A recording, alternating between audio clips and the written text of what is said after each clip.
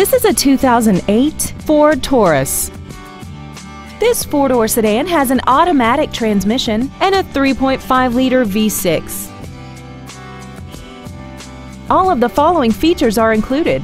Dual power seats, steering wheel mounted controls, a leather-wrapped steering wheel, an illuminated driver's side vanity mirror, tinted glass, traction control, rear curtain airbags, and this vehicle has less than 75,000 miles.